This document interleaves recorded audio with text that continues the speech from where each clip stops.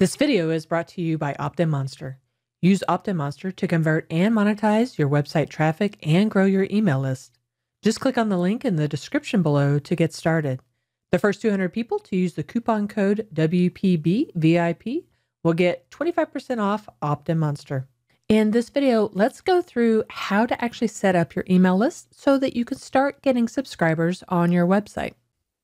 To get set up, we'll go ahead and go to Constant Contact where you'll need to sign up for free. It's 60 day free trial. And then after that, it will cost $20 a month to get going. So I'll let you go ahead and sign up and I'll do the same. And then we'll come back on the other side. Great. Once you sign up, they automatically create a an email list for you. So all you have to do is go under contacts and you can come under here and then you see the default one. You can rename that. So I'll do that here. You want to name it something that's easy for you to remember what the list is about. And by default, it'll also add you to the list, which is a great way for you to see what your audience is seeing when you send out email lists. So I would go ahead and stay on the email list if you can. So going through Constant Contact, we were able to knock out the top two tasks in one setting. We set up our service provider and then by default, it already creates our email list.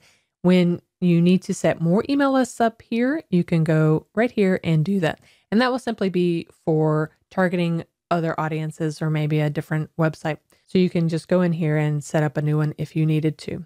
But we'll just stick with this one Okay, now that we've set up our list, the next thing we want to do is we want to create an inline form or an opt-in form that we can put on our website. And once you sign up for the pricing, you can sign up using the sign up form here. I'm actually going to walk you through how to use our sister company product, which is OptinMonster, and it just does a much better job of allowing people to showcase their sign up forms on their website. So we're going to head over to OptinMonster and we'll get set up with that. And basically, real quickly, the concept is you have an email list that grows your email list campaign. They deal with the deliverability of your emails and the open rate, the bounce rate, and things like that. So you need this in order to get people on your email list. You'll want to use something like OptinMonster, which makes it much easier to gather those emails. Once you set up your OptinMonster, you'll be shown a campaign area or your dashboard area. And this is where we can create a new campaign. We'll create a campaign here. And this is where you want to select the type of campaign. The inline is usually the one that goes after your blog. An inline campaign is a great one to use all across your blog or your website where you can put it at the end of all of your articles. So we're going to use inline for this. And scrolling down, you can choose the campaign template. There's some great campaign templates to choose from. You can even choose by your goal. And actually, for this one, let's choose Grow Email List because that is our goal. And you see, as I choose which one, it changes the types that are available to me. I'm going to use the basic one and we'll call it Choose the Website and we'll start building it. Okay, now here's where we can make this look and feel exactly how we want. So here you just want to decide what you want to say, assuming this is a lifestyle blog that focuses on organizing. We can change all of that. You can change what this says here and here. That's pretty good. You can change the name of what it says on the subscribe button. You can choose what to say down here if you want it to say anything. And you can choose to turn off the powered by. Great. Now, if your website is a different color, you want to change that color here, right here. And if you happen to know your color hex here, you want to change that. So that's looking pretty good. Once we're done with that, we can click Save. Let's go to Integrations so we can click Add New and choose the provider here. From here, we need to register Constant Contact with our OptinMonster.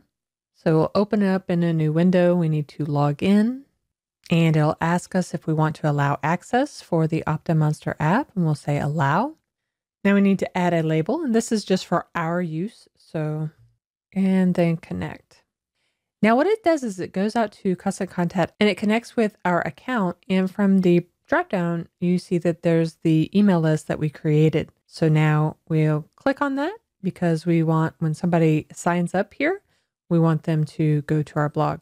So I'm happy with that integration. I'm going to go ahead and click save. Now we can also click on analytics and connect with our Google Analytics. And that'll be great for seeing conversion of our email list. Great. Now that we've created the opt-in, we want to go ahead and click publish.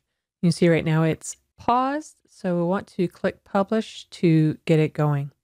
So I'm going to make it go into live. And down here, you see the information of how to integrate it with our WordPress site. So what we need to do is now is connect it to our website. So let's log into our WordPress dashboard. From here, we'll go to plugins, add new, because we need to add the OptinMonster connector that simply connects OptinMonster with our website so that we can work from there. So go to my plugins, add new, and I'll search for OptinMonster. This is the one we want. So let's click install now. Make sure once you install it, you also wait around to activate the plugin to make it live on our site. Great. And now we see this welcome page where we can connect our account to it. You just need to go and get the API key from your dashboard on OptinMonster site open up a new window and go to my dashboard. From your dashboard, you can go over to your My Account and your API key tab will be right here. Click copy. Go back to OptinMonster and we'll right click to paste that in here and connect. Great. It sees that we've successfully added our API and now we can go up to campaigns to see any campaigns that come over. Now this is a previous one, and if you don't see the one you've created, go ahead and click refresh campaigns. And now we see the one that we've been working on. You look over here and it is showing that it's disabled. So it won't be live until we actually click on the go live button here. Great. Now that it's live, okay. Now that we've gone live, we also want to edit the output settings since this one is going to be after every blog post and you want to make sure that this is enabled. That makes it live on the site.